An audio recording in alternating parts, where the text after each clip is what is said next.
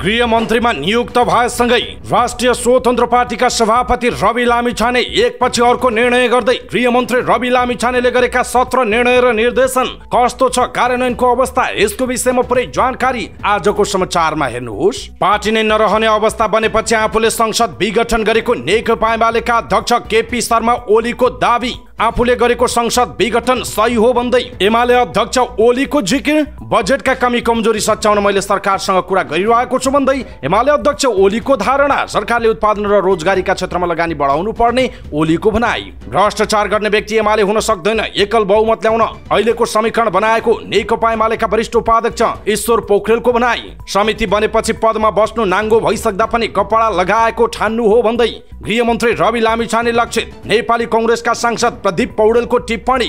नैतिकताको आधारमा गृहमन्त्री रवि लामिछानेले राजीनामा दिनुपर्ने पौडेलको भनाइ अदालतलाई तर्साएर काङ्ग्रेसका नेताहरूमाथि एकपछि अर्को गर्दै अप्ठ्यारोमा पार्ने प्रपञ्च हुँदै गरेको नेपाली कङ्ग्रेसका महामन्त्री गगन थापाको टिप्पणी संविधान जोगाउन प्रदेशलाई जस्ताको तस्तै बोकेर नहुने गगन थापाको भनाइ जब ज छोडेर एमाले समाजवादको कुरा नगरे टिक्दैन भन्दै नेकपा एकीकृत समाजवादीका सम्मानित नेता झलनाथ खनालको विश्लेषण तत्काल एमालेसँग एकताको सम्भावना नदेखिएको नेकपा एकीकृत समाजवादीका अध्यक्ष माधव कुमार नेपालको जिकिर मधेसमा मुख्यमन्त्री लिने प्रस्ताव आफूले स्वीकार नगरेको नेपालको धारणा।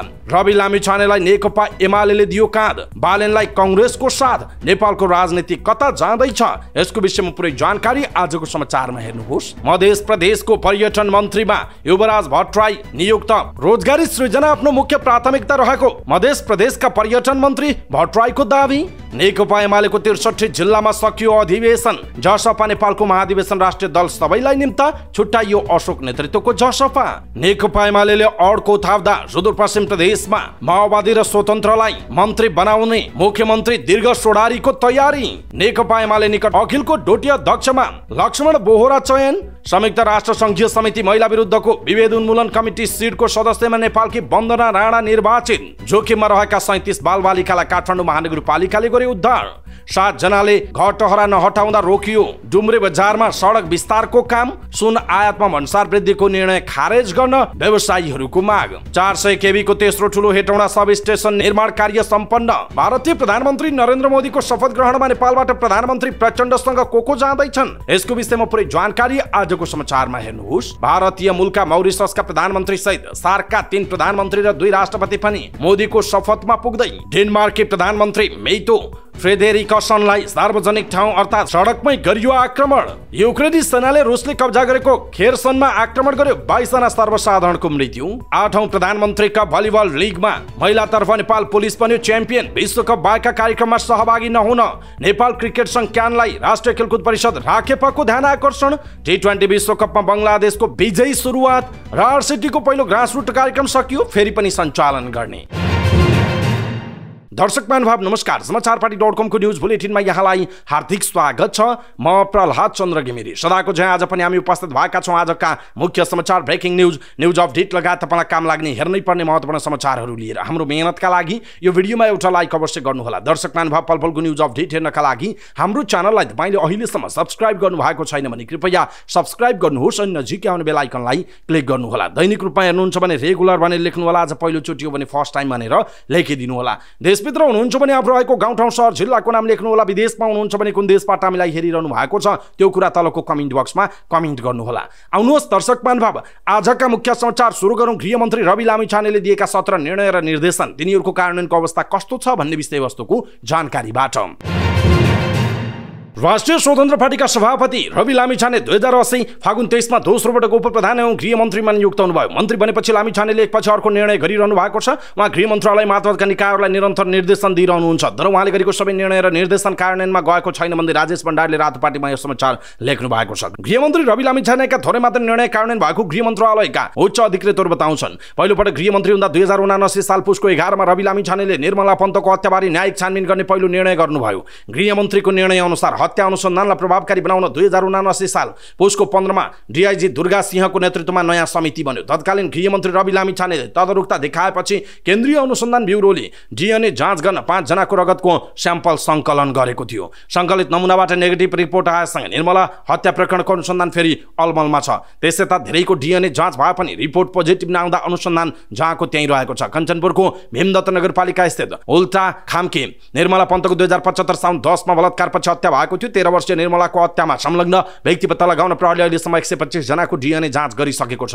तर यसपटक मन्त्री हुँदा लामी छानेले निर्मलाको हत्या अनुसन्धानबारे बोल्नु भएको छैन। यसैबीच सुनको अवैध पैठारी तस्करी नियन्त्रण सम्बन्धी जाँचबुझ आयोगको प्रतिवेदन कार्यान्वयनमा पनि अलमल गरिएको छ। पूर्व न्यायाधीश टिलीराज आचार्य नेतृत्वको आयोगले चैत एकमा उपप्रधान एवं गृहमन्त्री रवि लामी छानेलाई प्रतिवेदन बुझाएको थियो। प्रतिवेदन बुझ्दै लामी छानेले भन्नुभएको थियो मिडियामा नबोलिदिनुहोस् प्रतिवेदन अक्षरश कार्यान्वयन गर्छु। तर आयोगको सिफारिस अनुसार सिआइबीबाट तत्कालीन एआइजी किरण वज्राचार्य एसपी सञ्जय सिंह थापा डिएसपीहरू रुगम कुमार र दुर्गा दाहाललाई हटाउने बाहेक अन्य सिफारिस कार्यान्वयन भएन। गृहमन्त्रीले प्रतिवेदन कार्यान्वयन गर्न भनेर मन्त्रालयका सहसचिव भरतमणि रिजालको नेतृत्वमा समिति नै बनाउनु भयो। समितिले लामो समय भए पनि जुन आयोगको प्रतिवेदन गृह मन्त्रालयमा मन्त्रालयकै घरनामा थन्किएर बसेको छ। त्यसो त रवि लामिछानेले गरेको निर्णय र निर्देशन के छ त? देशभरका प्रज्यहरूलाई इजाजत दिएका हतियारको विवरण पठाउन उहाँले निर्देशन दिनुभयो। सर्वोच्चबाट दुर्गा प्रसाईका दुईजना सुरक्षा गार्ड पक्राउ परेपछि हतियारको विवरण चौबिस घन्टाभित्र पठाउन मन्त्रीको निर्देशन अनुसार गृहबाट दुई हजार असी चैत छमा सर्कुलर भएको थियो। त्यस्तै गरी सशस्त्र प्रहरी र नेपाल प्रहरीले सञ्चालन गरेको पेट्रोल पम्प चौबिसै घन्टा खुलाउने निर्णय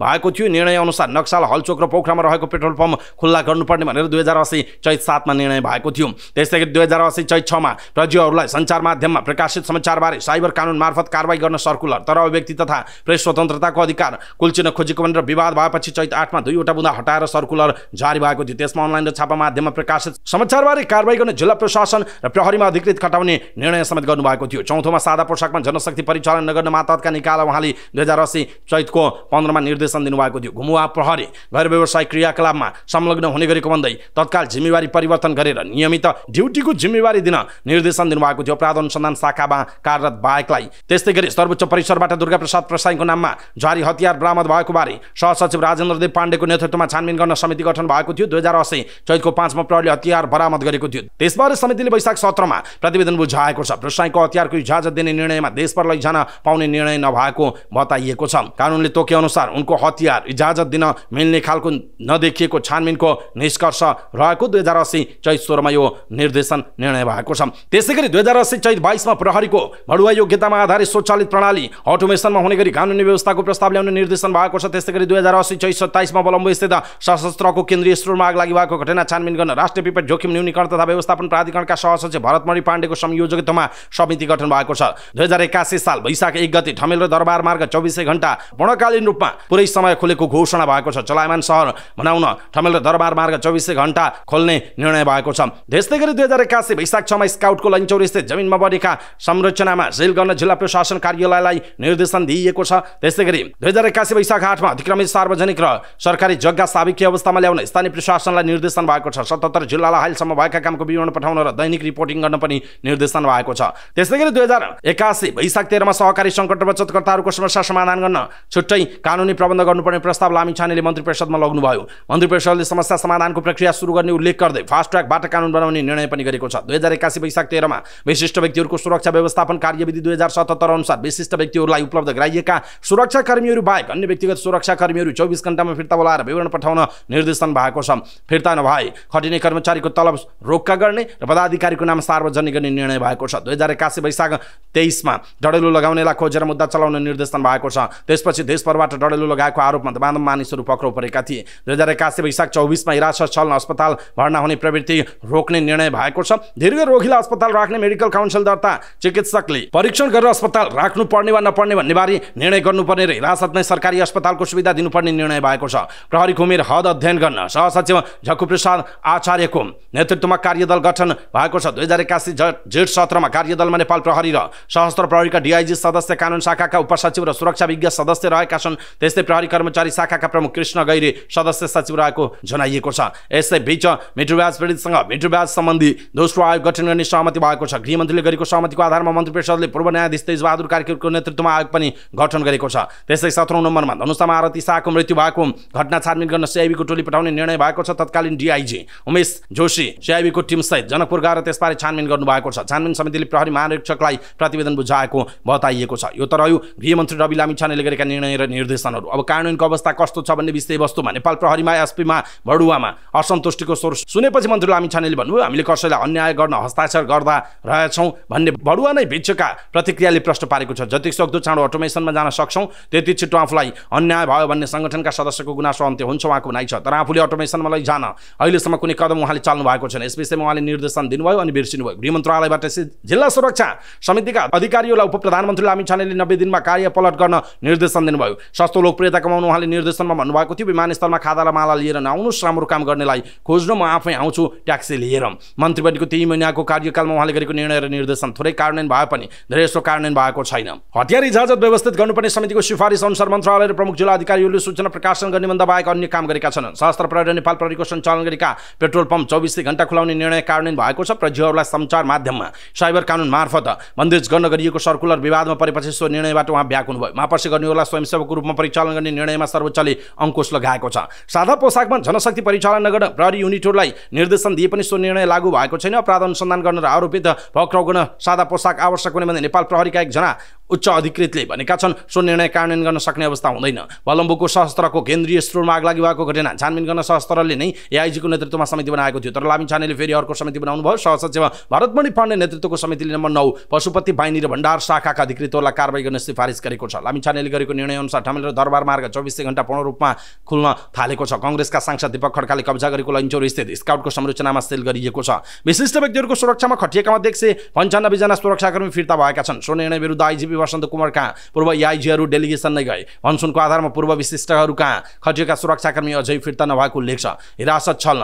अस्पताल भर्नाउने प्रवृत्ति रोक्ने निर्णय गरे पनि कैलाश तिरुवैयाको हकमा गृहमन्त्री रवि लामी छानेले सो निर्णय लागू गराउन सक्नु भएन लामी छानेले नै बनाएको नियमअनुसार मेडिकल काउन्सिलमा दर्ता भएका चिकित्सकको सिफारिसको आधारमा सिरोहिया जनकपुरबाट ललितपुरमा आएर अस्पतालमा भर्ना हुनुभयो आरती शाहको मृत्युबारे प्रहरीले प्रतिवेदन बुझाए पनि कार्यान्वयनमा गएको अवस्था छैन। अधिकांश प्रतिवेदन गृह मन्त्रालयले घुपचुप नै राख्ने गरेको छ। सुरक्षा संवेदनशीलताका कारण भन्दै कतिपय प्रतिवेदन सार्वजनिक गर्न नमिल्ने गृह सचिव एकनारायण अर्यालले बताउनु भएको छ। अर्यालले भन्नुभएको छ सुरक्षा संवेदनशीलतासँग जोडिएको हुनाले सबै प्रतिवेदन सार्वजनिक गर्ने अवस्था हुँदैन। उहाँको भनाइ छ दर्शक मानव गृहमन्त्री रवि लामी छानेले गरेका निर्णय र निर्देशन कस्तो छ? कार्यान्वयनको अवस्था भन्ने विषयवस्तु हामीले यहाँहरूमाझ प्रस्तुत गऱ्यौँ यसप्रति तपाईँको धारणा के छ? आफ्नो धारणा तलको कमेन्ट बक्समा कमेन्ट गर्नुहोला। नेकपा एमालेका अध्यक्ष केपी शर्मा ओलीले पार्टी नै नरहने अवस्था भनेपछि आफूले संसद विघटन गरेको बताउनु भएको छ। नेकपा एमाले काठमाडौँ जिल्ला कमिटीको सातौँ अधिवेशन उद्घाटन सत्रलाई सम्बोधन गर्दै उहाँले आफू नेतृत्वको सरकारले राम्रो काम गरेपछि विपक्षलाई सरकार बुझाउन पार्टीका नेताहरू कुदेको बताउनु भएको छ। दक्षिणपन्थीको पाउमा सरकार बुझाए जस्तै एमालेलाई पनि बुझाइसकेको हुने उहाँको भनाइरहेको छ। यसै बीच एमाले अध्यक्ष ओलीले बजेटलाई प्रभावकारी बनाउने विषयमा आफूले सरकारसँग कुरा गरिरहेको बताउनु भएको छ। ओलीले बजेटमा देखिएका कमी कमजोरी सच्याउँदै यसलाई प्रभावकारी बनाउन आफूले सरकारसँग कुरा गरिरहेको बताउनुभयो। उहाँले उत्पादनका माध्यमबाट पुँजी वृद्धि गर्दै मुलुकलाई विकासको बाटोतर्फ अगाडि बढाउनु पर्नेमा जोड दिनुभयो। औद्योगिक क्षेत्र स्थापना भए पनि उद्योग बन्न नसक्नु लगानी सम्मेलन गरे पनि लगानी भित्रन नसक्ने अवस्थालाई अन्त्य गर्नुपर्ने उहाँको भनाइ छ। अध्यक्ष ओलीले नेपालमा थोरै लगानी र योगदान गरेर धेरै प्रतिफल बाहिर लिएर जाने अवस्थाको गम्भीरतापूर्वक समीक्षा गर्नुपर्ने बताउनुभयो। उहाँले साठी प्रतिशत जनता निर्भर रहेको कृषिलाई आधुनिकीकरण गर्न नसकिने व्यवसायीकरण गर्न नसकिने औद्योगिकरण गर्न नसकिए मुलुक अगाडि जान नसक्ने बताउनु भएको छ। यसै सरकारले उत्पादन र रोजगारीका क्षेत्रमा लगानी गर्नुपर्ने नेकपा एमालेका अध्यक्ष ओलीको भनाइरहेको छ। नेकपा एमालेका वरिष्ठ उपाध्यक्ष ईश्वर पोखरेलले भ्रष्टाचार गर्ने व्यक्ति एमाले हुन नसक्ने बताउनु भएको छ। एमाले काठमाडौँ जिल्ला कमिटीको सातौँ अधिवेशन उद्घाटन सत्रलाई सम्बोधन गर्दै उहाँले भ्रष्टाचारमा लागेको व्यक्ति एउटी पनि पार्टीमा बस्न नसक्ने बताउनु भएको छ। वरिष्ठ उपाध्यक्ष पोखरेलले मिसन चौरासीमा एमालेलाई बहुमत ल्याउन समीकरण बनाएको बताउनु भएको छ। एमाले राष्ट्रिय शक्ति हो। त्यसलाई निर्माण गर्न हामीले मिसन चौरासी भनेका छौँ। अहिले हामी राष्ट्रिय शक्ति भए पनि पर्याप्त भएको छैन। यो निर्णायक शक्ति बनाउन सङ्गठन बलियो बनाउनुपर्छ विचारमा प्रष्ट भएका व्यक्तिहरू मात्र एमाले हुन्छन् उहाँको भनाइ छ। उहाँले भन्नुभयो मिसन चौरासीमा बहुमत ल्याउन समीकरण बनाएका हौँ। त्यही अभियानको सहयोगीको कदमको रूपमा अगाडि बढाउँछौँ त्यही ढङ्गले अगाडि बढ्छौँ उहाँको भनाइरहेको छ। नेपाली कङ्ग्रेसका सांसद एवं केन्द्रीय सदस्य प्रदीप पौडेलले संसदीय छानबिन समिति गठन गरिसकेपछि पनि नैतिकताको बोध नगरिने राजनीतिको अभ्यास नेपाली राजनीतिमा गम्भीर विषय बनेको बताउनु भएको छ। काठमाडौँमा आयोजित कार्यक्रममा बोल्दै उहाँले यस्तो बताउनु उहाँले राष्ट्रिय स्वतन्त्र पार्टीका सभापति एवं उप प्रधान एवं गृहमन्त्री रवि लामी छानेप्रति लक्षित गर्दै राजनीतिमा नैतिकता व्यक्तिसँग निर्भर गर्ने कुरा भन्दै नैतिकताको बोध नगरिने राजनीति कङ्ग्रेसले अन्त्य गरेर छाड्ने दावी गर्नुभयो। उहाँले सहकारीको विषयमा छानबिन समिति बनिसकेपछि पनि उप प्रधान एवं गृहमन्त्री रवि लामी छाने पदमै रहिरहनु नाङ्गो भइसकेपछि नै आफूलाई कपडा लगाएको ठान्नु रहेको टिप्पणी टिप्पणी गर्नुभएको छ। उहाँले भन्नुभयो कङ्ग्रेसले संसदमा सहकारीको मुद्दा त्यस ढङ्गबाट अगाडि ल्याउँदैन थियो भने यहाँ सहकारी पीडितहरूले न्याय पाउने अवस्था हुँदैन थियो। त्रिहत्तर लाख जनता जोडिएको यो मुद्दालाई नेपाली कङ्ग्रेसले एउटा निर्णायक मोडमा पुर्याएको छ। हामीले यो मुद्दा उठाइसकेपछि बाध्य भएर कतिपय पार्टीहरू जोडिएको अवस्था हो। सत्तालाई सम्पूर्ण रूपमा दुरुपयोग गरेर यो मुद्दा उठ्न नदिन गुपचुप गर्न ढाकछोप गर्न प्रमाण लुकाउन सम्पूर्ण रूपमा अहिलेको सत्तारूढ गठबन्धन लागेको थियो। हामीले संसदीय समिति गठन गरेर जस जसमाथि छानबिन गर्न खोजिएको त्यो व्यक्तिलाई तपाईँले राजीनामा दिनु पर्दैन भनेर फकाएर तपाईँ जुन कुर्सीमा बसिरहनु भएको छ। तपाईँमाथि छानबिन हुँदाहुँदै पनि तपाईँ त्यस कुर्सीमा बसिरहन पाउनुहुन्छ।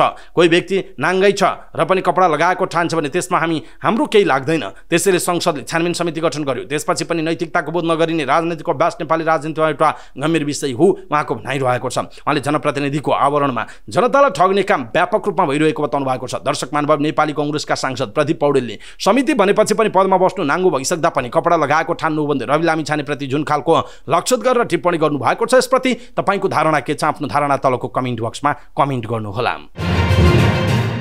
नेपाली कङ्ग्रेसका महामन्त्री गगन थापाले सत्तामा बसेकाहरूले अदालत र संवैधानिक निकायहरूलाई तर्साएर कङ्ग्रेसका नेताहरूलाई एकपछि अर्को गर्दै अप्ठ्यारोमा पार्ने प्रपञ्च भइरहेको आरोप लगाउनु भएको छ। काठमाडौँमा आयोजित एक कार्यक्रममा बोल्दै नेपाली कङ्ग्रेसका केही व्यक्तिले गल्ती गरेको भए त्यसको भारी कङ्ग्रेस पार्टीले नबोक्ने उहाँले प्रश्न पार्नु भएको छ। उहाँले भन्नुभयो अदालत र संवैधानिक निकायलाई प्रभावित गर्ने र तर्साउने फकाउने लोभ्याउने परिपाटी पछिल्लो समय देख्दै आइ गइरहेका छौँ। कङ्ग्रेसका साथीहरूलाई एकपछि अर्को गर्दै कुनै न कुनै ढङ्गबाट घेराबन्दी गर्ने प्रपञ्च देखिरहेका छौँ। पार्टीले एक ठाउँमा आएर सत्यको पक्षमा उभिनुपर्छ उहाँको भनाइरहेको छ। यसै बीच कङ्ग्रेस महामन्त्री थापाले संविधान जोगाउने हो र टिकाउने हो भने प्रदेशलाई जस्ताको त्यस्तै बोकेर हिँड्न नहुने बताउनु भएको छ। महामन्त्री थापाले संविधानका केही कुराहरू संशोधन गर्नुपर्ने भन्दा यस्तो बताउनु भएको छ। प्रदेशका साथै निर्वाचन प्रणालीका बारेमा पनि केही संशोधन गर्न आवश्यक रहेको उहाँले बताउनु भएको छ। हाम्रो केही जिम्मेवारी छ। संविधान जोगाउने हो टिकाउनको निम्ति यो संविधानकामा केही कुरा नबदलिकन हुँदैन। उहाँले भन्नुभयो चाहे हाम्रो प्रदेशको रचनाको कुरा होस् यसलाई जस्ताको तस्तै बोकेर हुँदैन। यसलाई टिकाउन केही कुरामा बदलाव ल्याउनुपर्छ। निर्वाचन प्रणालीका बारेमा केही कुरा परिमार्जन गर्नुपर्नेछ। साथै उहाँले दुई हजार चौरासी सालसम्म नेपाली कङ्ग्रेस सङ्घीय संसदभित्र प्रतिपक्षको भूमिकामा रहने पनि बताउनु भएको छ। काठमाडौँमा आयोजित कार्यक्रमलाई सम्बोधन गर्दै उहाँले कङ्ग्रेस सरकार बनाउने र घिराउने खेलमा नलाग्ने बताउनु भयो। यसअघिको चुनावको प्रतिबद्धता अनुसार सरकारमै रहनुपर्ने भए पनि सरकारमा रहेका केही राजनैतिक दलहरूले प्रतिबद्धता बेर्सिँदा कङ्ग्रेस प्रतिपक्षमा पुगेको उहाँको भनाइ छ। अर्को प्रसङ्गमा उहाँले नेकपा एमालेका अध्यक्ष एवं पूर्व प्रधानमन्त्री केपी शर्मा ओलीप्रति लक्षित गर्दै शिक्षा विज्ञान तथा प्रविधि मन्त्री सुमना श्रेष्ठमाथि अभद्र टिप्पणी गरेको आरोप पनि लगाउनुभयो।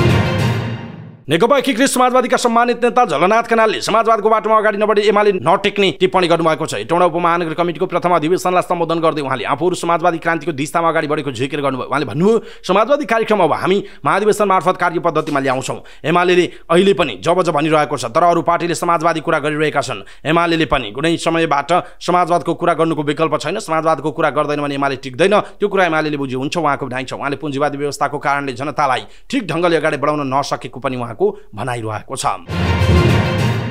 नेकपा एकीकृत समाजवादीका अध्यक्ष एवं पूर्व प्रधानमन्त्री माधव कुमार नेपालले तत्काल नेकपा एमालेसँगको एकताको सम्भावना नरहेको बताउनु भएको छ। पार्टी केन्द्रीय कार्यालय आलोकनगरमा नेकपा एकीकृत समाजवादी कोशी कमिटीद्वारा आयोजित प्रशिक्षण कार्यक्रमलाई सम्बोधन गर्दै उहाँले यस्तो बताउनु भयो उहाँले विगतको कुरा छोडेर कुनै समीक्षा नगर्दा पनि एमालेसँग तत्काल एकताको सम्भावना नरहेको बताउनु भएको हो। उहाँले एमालेसँग एकताका लागि एमाले पनि चाहना देखाउन आवश्यक रहेको बताउनु भयो। उहाँले नेकपा एमालेका अध्यक्ष केपी शर्मा ओलीले आफ्नो पार्टीप्रति सकारात्मक हुन आग्रह गर्नुभयो। उहाँले आफ्नो पार्टीप्रति प्रधानमन्त्री पुष्पकमल दाल प्रचण्ड सकारात्मक रहेको बताउनु भयो उहाँले समाजवादी मोर्चा मोर्चाको पुनर्गठन गरेर अगाडि बढ्ने सोच आफूहरूको रहेको र सोही अनुसार अगाडि बढिरहेको पनि बताउनु भएको छ। अध्यक्ष नेपालले राष्ट्रको आवश्यकताको पहिचान गरेर अगाडि बढ्न जरुरी रहेकोमा जोड दिनुभयो। उहाँले कुन कुरामा पहिलो प्राथमिकता दिनुपर्ने हो त्यो छुट्याउन जरुरी रहेको बताउनु भएको छ। देश विकास हुने मार्गहरूको पहिचान गरी अगाडि बढ्न आवश्यक रहेको नेपालको भनाइरहेको छ। यसै बीच नेकपा एकीकृत समाजवादीका अध्यक्ष माधव नेपालले मध्य प्रदेशमा आफ्नो दललाई मुख्यमन्त्री पद लिन प्रस्ताव आएको खुलासा गर्नु भएको छ। उहाँले कङ्ग्रेस जसपा नेपाल सहितका दलले पुरानै गठबन्धन कायम राख्न प्रस्ताव गरेको तर आफूले प्रदेश र केन्द्रमा एउटै गठबन्धनमा रहनु उचित हुने भएकाले प्रस्ताव अस्वीकार गरेको बताउनु भएको छ।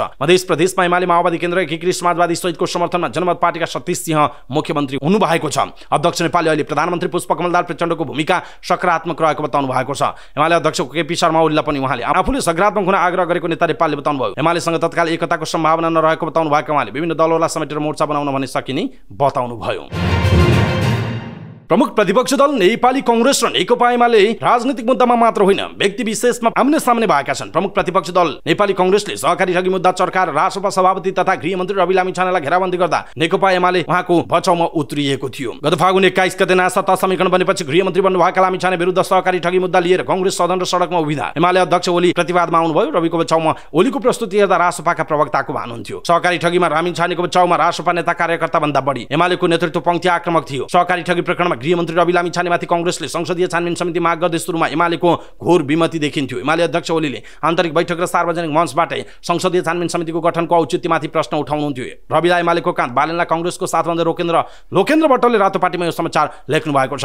ओलीले सहकारी ठगीमा लामिछाने निर्दोष भएका कारण संसदीय छानबिन समिति गठनको औचित्य नभएको बताउनु भएको थियो। एमाले संसदीय दलका प्रमुख सचेतक महेश पर्तौलाले त कङ्ग्रेसले आत्महत्या गरे पनि सहकारी ठगीमा संसदीय छानबिन समिति गठन नहुने तर्क गर्नुभएको। चौथो ठुलो दल रासोपालाई सत्तामा पुर्याउनु ओलीको साथ छ। रासोपा सभापति लामिछानेको सत्ता राजनीति पनि एमालेकै वरिपरि घुमिरहेको छ। दुई हजार उनासी पुस दसमा ओलीकै अगुवाईमा निर्माण भएको सरकारमा रासोपा सहभागी भएको थियो। गृहमन्त्री लामिछाने दुई हजार उनासीमा नागरिकता प्रकरणमा दोषी ठहराउँदा पनि ओलीले बचाउ गर्नुभएको थियो। ओलीले लामिछानेको सांसद पद खारेज गर्ने सर्वोच्च अदालतको फैसलाप्रति संसदमा प्रश्न उठाउनु भएको थियो। सर्वोच्च अदालतले प्रक्रियागत त्रुटि देखाएर फैसला गर्दा सांसद पद गयो पार्टी अध्यक्ष गयो गृहमन्त्री गयो उप प्रधानमन्त्री गयो। धेरै चिजमा धक्का भयो। ओलीको प्रश्न थियो न्याय भयो कि भएन? रविजीलाई न्याय भएन भने कसले न्याय पायो? उहाँको भनाइ छ। नागरिकता प्रकरणमा दोषी ठहर लामिछानेको गृहमन्त्री गुम्दा पुनर्बहालीका लागि ओलीले निकै जोडबल गर्नुभएको थियो। प्रधानमन्त्री पुष्पकमलदार प्रचण्डले लामिछानेलाई गृहमन्त्रीमा बहाली गराउन तयार नभएपछि सरकारबाट रासोपा बाहिरियो। दुई हजार उनासी फागुन दोस्रो साता तत्कालीन एमाले सहितको गठबन्धन भत्कियो। कङ्ग्रेस सहितको गठबन्धनमा राष्ट्रपति निर्वाचन प्रधानमन्त्रीलाई विश्वासको मत दिँदा पनि रासोपाका लागि सत्ताको ढोका खुलेन। गत फागुन एक्काइसमा एमाले सहितका गठबन्धन बनेपछि रासोपा दोस्रो पटक सरकारमा सहभागी भयो। सत्तामा हुने रासोपाको पद यो बार्गेनिङमा एमाले अध्यक्ष ओलीले दौरो साथ दिने गरेको लुकेको छैन। सत्ता राजनीतिका लागि निर्णायक सङ्ख्या बोकेर बस्नुभएका लामी छानेलाई काँधमा बोकेर ओली यति बेला सत्तामा हाबी हुनुहुन्छ। ओलीको दरिलो साथ पाउनुभएका लामी छानेलाई पद प्राप्त र मुद्दामा सहुलियत मिलेको छ। सहकारी ठगी प्रकरणमा रवि विरुद्ध कङ्ग्रेस उभिए जस्तै यता सुकुम्बासी बस्दै गिरिबन्धु टी स्टेट र न्यु रोडको सडक प्रकरणमा नेकपा एमाले र काठमाडौँ महानगरपालिकाका मेयर बालिन शाहबीच द्वन्द्व छ। काठमाडौँका सुकुम्बासीलाई मेयर शाहले विकल्प नदिएर दमन गरेको भन्दै एमाले विरोधमा छ। बालिन विरुद्धको मोर्चामा एमाले अध्यक्ष ओली आफै मैदानमा हुनुहुन्छ। प्लास्टिकको छाप्रो रहेको सुकुम्बासी बस्तीमा हामीले डोजर देखाएर आतङ्क फैलाइरहेका छौँ। डोजर चलाउन बन्द गरेर उनीहरूको समस्या व्यवस्थापन गर्नतिर लागौँ। उहाँको भनाइ थियो ओली विरुद्ध गिरिबन्धु टी स्टेटको मुद्दा उठाएर मेयर बालिन शाहले हिट गरिरहनु भएको छ। गिरिबन्धु टी स्टेटको जग्गा प्रकरणमा नीतिगत भ्रष्टाचार भएको भन्ने सर्वोच्चको फैसलामा टेकेर ओलीमाथि मेयर शाहले प्रहार गरिरहनु भएको छ।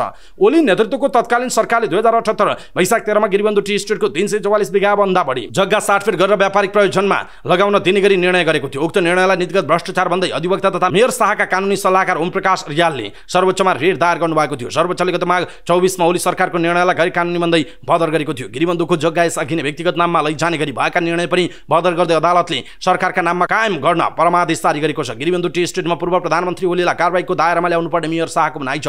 सोमबार पनि गिरिबन्धु टी स्टेट प्रकरणमा ओली विरुद्ध शाहले फार्ने खोल्नुभयो। गिरिबन्धु टी स्टेटको जग्गामा भएको नीतिगत घोटालामा जेल जानुपर्ने उहाँको सङ्केत थियो।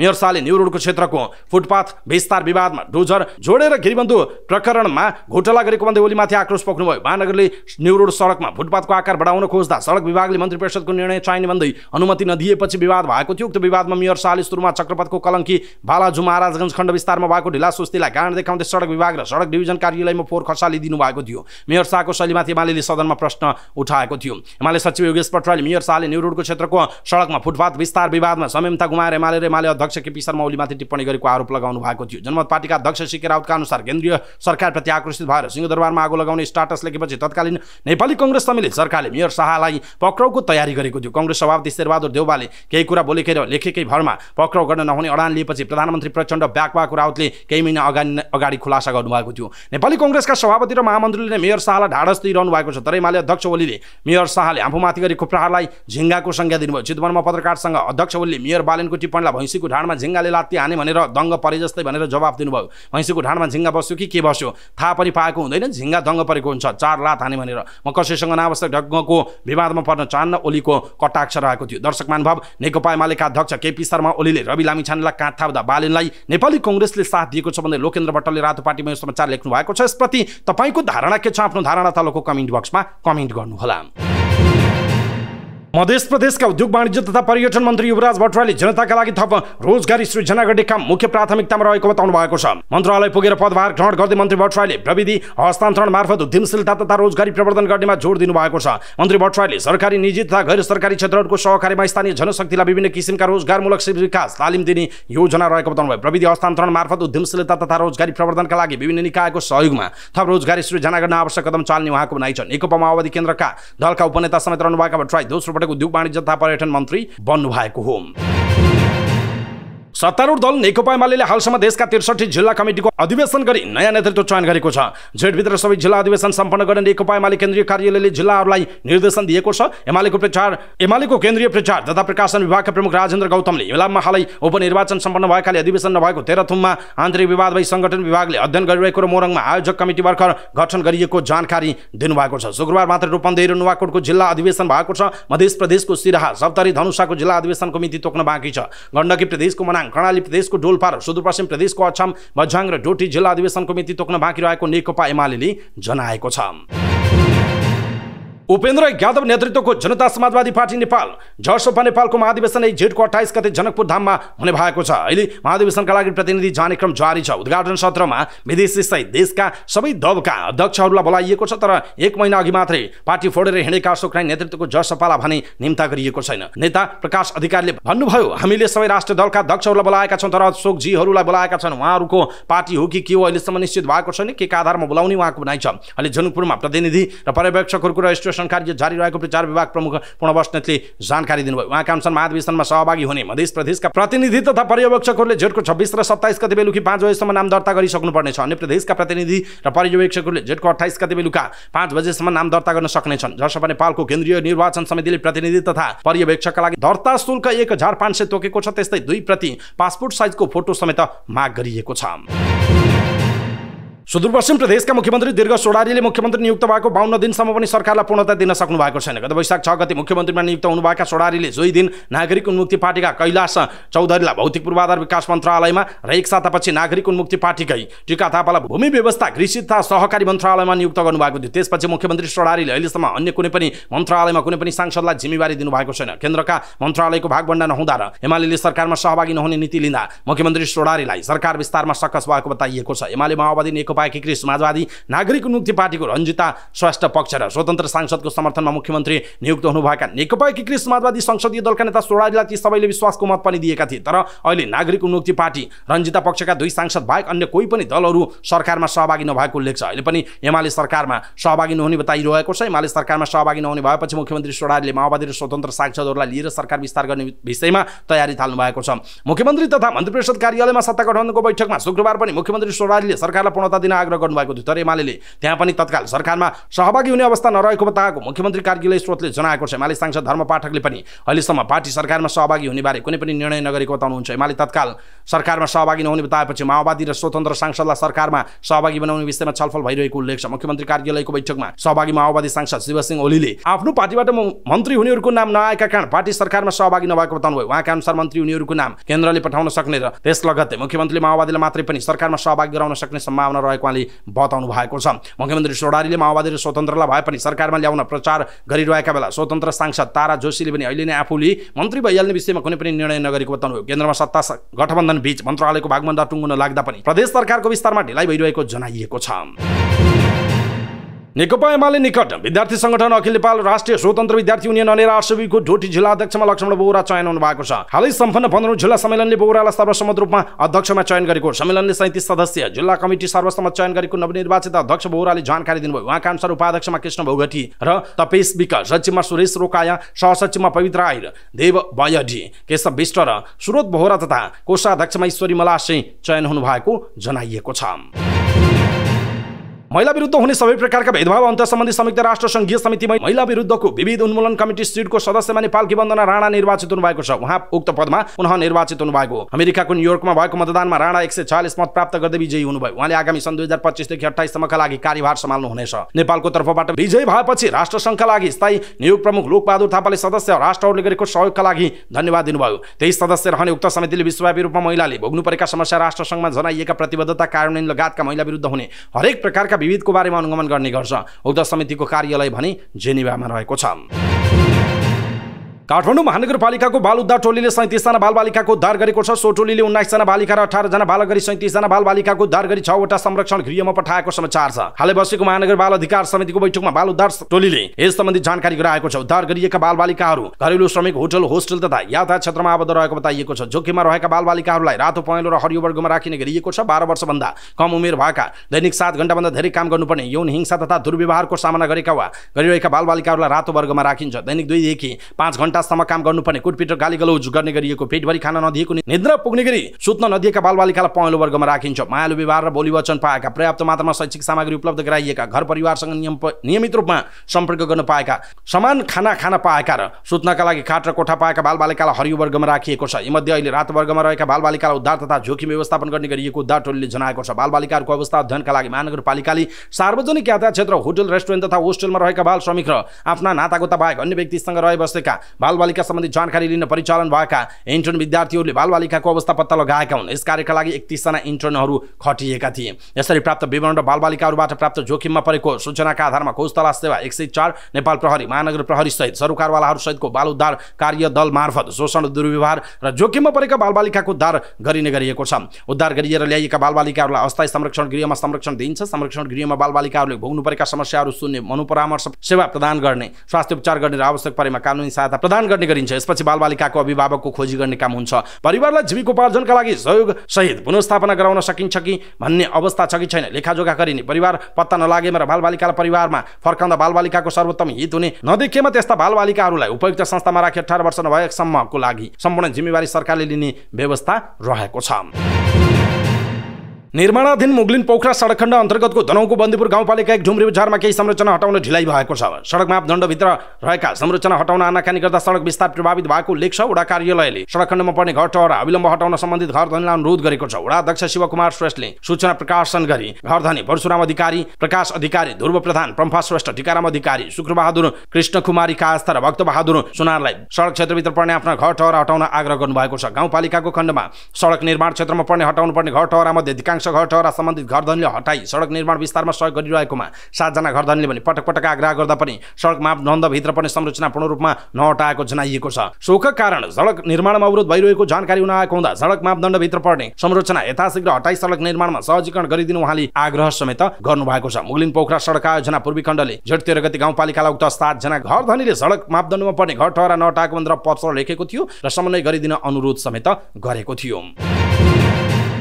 आगामी आर्थिक वर्षको बजेटमा सुनातमा पाँच प्रतिशत भन्सार वृद्धि गर्ने निर्णय खारेज गर्ने व्यवसायीहरूले माग गरेका छन्। नेपाल सुन चाँदी रत्न तथा आभूषण महासङ्घ नेपाल सुन चाँदी व्यवसाय महासङ्घ र नेपाल हस्तकला महासङ्घले अर्थमन्त्री वर्षमान पुनलाई सुन आयातमा वृद्धि गरिएको निर्णय खारेज गर्ने माग गर्दै ज्ञापन पत्र बुझाएको। नेपाल सरकारले दुई हजार एकासी बयासीको बजेटमा सुनको आयातमा लाग्दै आएको पन्ध्र प्रतिशत भन्सार दरलाई वृद्धि गरी बिस प्रतिशत पुर्याएपछि महासङ्घले खारेज गर्ने माग गरेको नेपाल सुन चाँदी रत्न तथा आभूषण महासङ्घका केन्द्रीय अध्यक्ष किसान सुनारले जानकारी दिनुभयो। अध्यक्ष सुनारले सरकारले गत वर्ष पनि भन्सार महसुल विधेयक दुई हजार अस्सी मार्फत सुनको आयातमा भन्सार वृद्धि गरेको बताउनु भएको छ। उहाँले देशभर बिस हजार बढी सुनचाँदी व्यवसायीसँगै दुई लाख बढीले प्रत्यक्ष अप्रत्यक्ष रूपमा रोजगारी पाएको स्मरण गराउनु भयो। सरकारले भारतीय बजारको समेत कुनै प्रवाह नगरी त्यहाँको तुलनामा समेत बढी हुने गरी सुन आयातमा भन्सार दर वृद्धि गर्दा व्यवसायीहरूले कारोबार गर्दा त्यसको असर उपभोक्तामा पर्ने भएको उहाँले बताउनु भएको छ।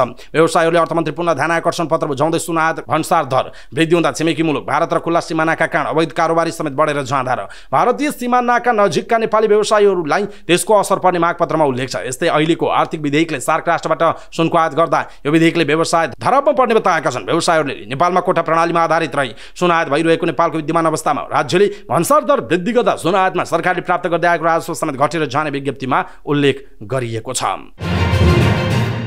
देशभित्रको विद्युत प्रसारण तथा वितरण प्रणाली सुदृढीकरण तथा विस्तारका लागि मकवानपुरको हेटौँडा उपमहानगरपालिका एघार थाना भर्याङमा चार सय केबी हेटौँडा सब स्टेसन निर्माण सम्पन्न भएको छ। ग्यास इन्सुलेटेड प्रणाली जिआइएस प्रविधिमा आधारित स्वचालित नेपालको तेस्रो ठुलो चार सय केबी हेटौँडा सब स्टेसन निर्माण सम्पन्न गरी चार समेत गरिएको छ। यसै गरी नेपाल भारत विद्युत प्रसारण तथा व्यापार आयोजनाबाट थाना भर्याङमा नै दुई सय बिस र एक सय बत्तिस अब्लिक एघार केबी क्षमताका सब स्टेसन निर्माण सम्पन्न गरी चार्ज गरिएको छ। पूर्व पश्चिम विद्युत आपूर्तिलाई भरपर्दो तथा गुणस्तरीय बनाउन र भारतसँगको विद्युत व्यापारका लागि निर्माण गरिएको जिआइएस प्रविधियुक्त शौचालय ढल्केवर देशकै पहिलो इनरुवा दोस्रो र हेटौँडा देशको ठुलो सब स्टेसन हो। हेटौँडा सब स्टेसनको निर्माण सम्पन्न भएसँगै झन्डै चार हजार मेगावाट विद्युत प्रवाह गर्न सक्ने पूर्वाधार समेत संरचना समेत तयार भएको छ। हेटौँडा ढल्केवर इनरुवा चार सय केबी प्रसारण लाइन आयोजना निर्माण सम्पन्न भएपछि ढल्केवरबाट पूर्व पश्चिम चार हजार मेगावाट विद्युत प्रवाह गर्न सकिने हुँदा आन्तरिक रूपमा विद्युत आपूर्ति थप सुदृढ हुने र भारत भारतसँगको विद्युत व्यापार थप विस्तार हुने बताइएको छ। आयोजना अन्तर्गत ढल्केवर इनरुवा खण्ड निर्माण अन्तिम चरणमा छ भने हेटौँडा ढल्केवर खण्ड निर्माणाधीन अवस्थामा छ। हेटौँडा उपमहानगरपालिका पन्ध्र सोह्र सत्र र उन्नाइस नम्बर वडाहरूमा स्थानीय अवरोधका कारण प्रसारण लाइन निर्माण हुन सकिरहेको छैन अवरोध नभएका ठाउँमा निर्माण भइरहेको बताइएको छ। नेपाल विद्युत प्राधिकरणका कार्यकारी निर्देशक कुलमान घिसिङले हेटौँडा सब स्टेसनबाट स्थानीय रूपमा पनि विद्युत आपूर्ति गरिने हुँदा हेटौँडा भरतपुर सिमारा तथा वीरगञ्ज क्षेत्रको विद्युत आपूर्तिलाई थप भरपर्दो र गुणस्तरीय बनाउन सहयोग पुग्ने बताउनु भएको छ। प्रधानमन्त्री पुष्पकमल दाल प्रचण्डको भारत भ्रमणमा जाने भ्रमण टोलीको टुङ्गो लागेको छ। मन्त्री परिषद बैठकले प्रधानमन्त्री प्रचण्डको भारत भ्रमणका लागि टोलीको टुङ्गो लगाएको छ। भारत भ्रमणमा प्रधानमन्त्री कानुन मन्त्री पदम गिरी परराष्ट्र सचिव शिवाल अंसाल प्रधानमन्त्रीकी स्वकीय सचिव गङ्गा दाहाल परराष्ट्र मन्त्रालयका शिष्टाचार महापाल विष्णु प्रसाद गौतम रहनु भएको छ। प्रधानमन्त्री दाल आइतबार तेस्रो कार्यकालका लागि निर्वाचित भारतीय प्रधानमन्त्री नरेन्द्र मोदीको शपथ ग्रहणमा भाग लिन भारत जाँदै हुनुहुन्छ। भारतीय प्रधानमन्त्री मोदीले प्रधानमन्त्री दाललाई शपथ ग्रहणमा सहभागी हुन आमन्त्रण गर्नुभएको थियो। आइतबार साँझ हुने भारतीय प्रधानमन्त्री नरेन्द्र मोदीको तेस्रो कार्यकालको प्रधानमन्त्रीत्वको शपथ ग्रहणका लागि सार्क देशका तीन प्रधानमन्त्री तथा दुई राष्ट्रपति पुग्ने भएका छन्। त्यसरी पुग्नेहरूमा नेपालका प्रधानमन्त्री पुष्पकमल दाल प्रचण्ड बङ्गलादेशकी प्रधानमन्त्री शेख हसिना त्यस्तै भुटानका प्रधानमन्त्री छिरिङ तोक्बे रहेका छन् भने राष्ट्रपतिहरूमा दुईवटा टापु देश श्रीलङ्काका राष्ट्रपति रनिल विक्रमा सिंघे र मालदिप्सका राष्ट्रपति मोहम्मद मैजु रहेका छन्। यस्तै शपथ ग्रहण समारोहमा सार्क बाहिरबाट भारतीय मूलका मौरिससका प्रधानमन्त्री प्रवीण कुमार जुगनाथ समेत पुग्ने बताइएको छ। सन् दुई हजार चौधमा पहिलो पटक प्रधानमन्त्री हुँदा सार्क देशका सबै प्रमुख प्रमुखहरूलाई बोलाउनु भएका मोदीले यो भ्रमणमा पाकिस्तान र अफगानिस्तान भएका देशहरूलाई मात्र निम्तो गर्नुभएको छ। मोदीको शपथ दिल्लीको स्थानीय समयअनुसार आइतबार साँझ छ बजे हुने बताइएको छ। डेनमार्की प्रधानमन्त्री मेतो फ्रेडरिक्सनलाई सार्वजनिक ठाउँ अर्थात् सडकमै आक्रमण भएको छ। डेनमार्कको राजधानी कोपनहेगनको कुलटोर भेटमा गए राति उहाँमाथि कुटपिट भएको बताइएको छ। प्रधानमन्त्री मेतोलाई कुटपिट गरेको आरोपमा एक व्यक्ति पक्राउ परेको बिबिसीले उल्लेख गरेको छ। उहाँमाथि आक्रमण र कुटपिट किन भएको हो भन्ने विषय अहिलेसम्म खुल्न सकेको छैन। घटनाबाट स्तब्ध भएको उहाँको कार्यालयले जनाएको छ प्रधानमन्त्री मेतो युरोपेली संसदका लागि भएको चुनावमा आफ्नो दलको तर्फबाट प्रचारमा व्यस्त रहनु भएको थियो। युरोपेली आयोगका प्रमुख ओर्सुला भोन्डेर लेयनले यस्तो कार्य घृणित र विश्वास गर्न नसकिने रहेको टिप्पणी गर्नुभयो। भएको छ युक्रेनी सेनाले रुसले कब्जा गरेको खेर्सनमा आक्रमण गर्दा बाइसजनाको ज्यान गएको छ। रुसले कब्जा गरेको खेर्सन क्षेत्रको सडो भोयर गाउँमा एउटा पसलमा दुई पटक भएको बमबारीमा बाइसजना नागरिकको ज्यान गएको गभर्नर भ्लादिमिर सालदोले बताउनु भएको चिनिया समाचार संस्था सिनुवाले जनाएको छ। आक्रमणको समयमा पसलभित्र ग्राहक र पसलका कर्मचारीको भिड लागेको थियो। पहिलो हमला फ्रान्सले हवाई बमबाट भएको र दोस्रो हमला अमेरिकी हिमर्स रकेटबाट भएको। रुसी सञ्चार माध्यमहरूले जनाएका छन्। अमेरिका र युरोपले दिएका हतियार रुस विरुद्ध आक्रमण गर्न सक्ने अनुमति पाएपछि युक्रेन रुस विरुद्ध आक्रमक भएको भएको छ। रुसले यो निर्णयको कडा शब्दमा विरोध गर्दै अमेरिका र युरोप नजिकका आफ्ना मित्र देशमा क्षेप्र्यास्त तैनात गर्ने चेतावनी पनि दिइसकेको छ। आठौँ प्रधानमन्त्रीका भलिबल लिगमा महिलातर्फ खोपादी नेपाल पुलिस क्लबले जितेको छ पुलिसले लिगमा अपराजित रहँदै फाइनल पुगेको एभरेस्ट भलिबल क्लबलाई फुटबललाई तिन दुईले पराजित गरेको छ। पुलिसले एभरेस्टलाई पच्चिस एक्काइस पच्चिस तेइस बिस बिस पच्चिस बिस पच्चिस र पन्ध्र बाह्रको सेटमा पराजित गरेको जनाइएको छ। पहिलो र दोस्रो सेटमा लगातार जित हात परेको पुलिसले तेस्रो र चौथो सेट भने घुमाएको छ। पाँचौँ सेट जित्दै डिफेन्डिङ च्याम्पियन पुलिसले उपाधि रक्षा गरेको। सातौँ प्रधानमन्त्री कपमा एपिएफलाई हराउँदै च्याम्पियन बनेको पुलिसले गत चैतमा सम्पन्न आरबिबी भलिबल लिगमा भने एभरेस्टसँग पराजित हुँदै उपविजेतामा चित्त बुझाएको थियो। राष्ट्रिय खेलकुद परिषद राखेपले नेपाल क्रिकेट सङ्घ क्यानलाई अमेरिका र वेस्ट इन्डिजमा जारी टी ट्वेन्टी विश्वकप क्रिकेटमा नेपाली राष्ट्रिय टोलीको प्रदर्शनमा पूर्ण रूपले केन्द्रित हुन ध्यान आकर्षण गराएको छ। विश्वकप क्रिकेटमा सहभागी नेपाली टोली प्रतियोगिताको तयारीमा पूर्ण रूपले केन्द्रित भई उच्च स्तरीय प्रदर्शनका लागि आवश्यक प्रशिक्षण लगायतका कार्य गर्नुपर्ने समयमा नेपाली समाजको नाममा विभिन्न स्थानमा प्रतियोगिताको सम्मुख आयोजना भएका मिट एन्ड ग्रिड कार्यक्रममा राष्ट्रिय टिमका खेलाडीहरूलाई सहभागी गराउनाले टिमको व्यावसायिक स्तरको विषयमा चासोका सन्दर्भमा राखेपको गम्भीर ध्यान आकर्षण भएको छ। राखेप अन्तर्गत खेलकुद विकास विभागका प्रमुख सरोज कुमार पोखरेलले क्यानलाई पठाएको पत्रमा भनिएको छ। राखेपले अन्य व्यक्ति तथा संस्थाले आयोजना गरेको पनि खालका कार्यक्रममा सहभागी नहुन तथा आफ्नो खेलमा पूर्ण रूपमा केन्द्रित हुन क्यानलाई निर्देशन दिएको छ। राखेपले नेपाली इतिहासमै दोस्रो पटक विश्वकपमा सहभागी भएको टिमलाई जारी प्रतियोगितामा उच्च खेल प्रदर्शनका लागि शुभकामना पनि व्यक्त गरेको छ। बङ्गलादेशले आइसिसी टी ट्वेन्टी विश्वकप दुई हजार चौबिसमा श्रीलङ्कालाई दुई विकेटले हराउँदै विजयी सुरुवात गरेको छ बङ्गलादेशले समूह डीमा दुई महत्त्वपूर्ण अङ्क जोडेको छ। एक सय पच्चिस रनको लक्ष्य पछ्याएको बङ्गलादेशले उन्नाइस ओभरमा आठ विकेट घुमाउँदै लक्ष्य पुरा गरेको बिस बलमा एक चौका र चार छक्का सहित सर्वाधिक चालिस रन बनाएका छन्। लिटन दासले अडतिस बलमा दुई चौका र एक छक्का सहित छत्तिस रन बनाए। मु दुल्लाह रियाद तेह्र बलमा एक छक्का सहित सोह्र रनमा नट आउट रहे। अन्य ब्याटरले पनि राम्रो प्रदर्शन गर्न सकेन श्रीलङ्काका तीव्र गतिका बलर नुवान थुसाराले चार ओभरमा अठार रन खर्चिएर चार विकेट लिए पनि जित दिलाउन सकेनन्। बानेन्दु हंसरङ्गाले दुई धनञ्जय डिसिल्भा र माथिसा पाथी राणाले एक एक विकेट लिए त्यसअघि डालस स्थित ग्रान्ड प्रेरी क्रिकेट रङ्गशालामा टस हारेर पहिला ब्याटिङको निम्ति पाएको श्रीलङ्काले बिस ओभरमा नौ विकेट गुमाउँदै एक सय चौबिस रन बनाएको थियो। ओपनर पाथुम निसाङ्काले अठाइस बलमा सात चौका र एक छक्का सय सर्वाधिक सत्तालिस रन बनाए। कुशल मेन्डिस दस कामिन्दु मेन्डिस चार धनञ्जय डिसिल्भा एक्काइस चरित अशलङ्का उन्नाइस र दासुन सानाकाले तिन रन बनाए। एन्जिलो म्याथ्युजले उन्नाइस बलमा सोह्र रन बनाए बङ्गलादेशको जितमा लेग स्पिनर रिस्ताद हसनले चार ओभरमा बाइस रन खर्चेर तिन विकेट लिए मुस्ताफिजुर रहमानले चार ओभरमा सत्र रन खर्चेर तिन विकेट लिए तस्किन अहमदले दुई तानझिन हसन सकिबले एक विकेट लिए समूह ढीमा रहेको श्रीलङ्का पहिलो खेलमा दक्षिण अफ्रिकासँग छ विकेटले पराजित भएको छ। श्रीलङ्काले बुधबार नेपालसँग खेल्नेछ। नेपाल पहिलो खेलमा नेदरल्यान्डसँग पराजित भएको थियो। अन्नपूर्ण सिटी क्लबले नयाँ तथा युवा फुटबल खेलाडी उत्पादनका लागि अझ परिष्कृत घाँसरुट स्तरका प्रशिक्षण कार्यक्रम गर्ने भएको छ। क्लबले सञ्चालन गरेको पाँच महिना लामो पहिलो चरणको घाँसरुट कार्यक्रम शनिबार सम्पन्न भएको छ। त्यसको समापन समारोहमा सहभागीलाई प्रमाणपत्र र पदक प्रदान गरिएको थियो। कुल एक सय तिस खेलाडीको सहभागिता रहेको प्रशिक्षण कार्यक्रममा बाइस बालिका थिए। आठ वर्षदेखि चौध वर्षसम्मका खेलाडीको सहभागिता रहेको कार्यक्रमलाई नौ फुटबल प्रशिक्षकले सञ्चालन गरेका थिए। देशमा मुख्य प्रशिक्षक विराट कृष्ण श्रेष्ठ रहनु भएको थियो। समापन समारोहमा क्लबका अध्यक्ष सुरेश काजी साकेले थप घाँसरुट कार्यक्रम गर्ने योजना रहेको बताउनुभयो। काठमाडौँमा फुटबल खेलाडी उत्पादन गर्ने उद्देश्यले आरसिटीले कार्यक्रमको आयोजना गरेको काठमाडौँ महानगरपालिकाको सहयोग र तथा लैन्चर युवा क्लब र बाँसपारी क्लबको सहकार्यमा भएको कार्यक्रम गत वर्षको माघ महिनामा सुरु भएको थियो। आरसिटी नेपालको घरेलु फुटबलमा सर्वाधिक सफल क्लब मध्ये एक रहेको छ। अवस्था दर्शक भाव समाचार पार्टी डट कमको न्युज बुलेटिन अहिलेका लागि दिन। हामीले प्रस्तुत गरेका यी समाचारहरूप्रति तपाईँको धारणा के छ आफ्नो धारणा तलको कमेन्ट बक्समा कमेन्ट गर्नुहोला। हाम्रो मेहनतका लागि यो भिडियोमा एउटा लाइक अवश्य गर्नुहोला। फलफुलको न्युज अपडेटका लागि हाम्रो च्यानललाई तपाईँले अहिलेसम्म सब्सक्राइब गर्नु भएको छैन भने कृपया सब्सक्राइब गर्नुहोस् अनि नजिकै आउने बेल आइकनलाई क्लिक गर्नुहोला। दैनिक रूपमा हेर्नुहुन्छ भने रेगुलर भने लेख्नुहोला आज पहिलोचोटि पनि फर्स्ट टाइम भनेर लेखिदिनु होला देशभित्र हुनुहुन्छ भने आफ्नो रहेको गाउँ ठाउँ सहर जिल्लाको नाम लेख्नुहोला विदेश पाउनुहुन्छ भने कुन देशबाट हामीलाई हेरिरहनु भएको छ त्यो कुरा तलको कमेन्ट बक्समा कमेन्ट गर्नुहोला। समाचार पार्टी डट कमको न्युज बुलेटिन नेपाली समयअनुसार भोलि बिहान पाँच बजे लिएर फेरि हामी उपस्थित हुनेछौँ पलपलको न्युज अपडेटका लागि समाचार पार्टी डट कम हेर्दै गर्नुहोस्। नमस्कार।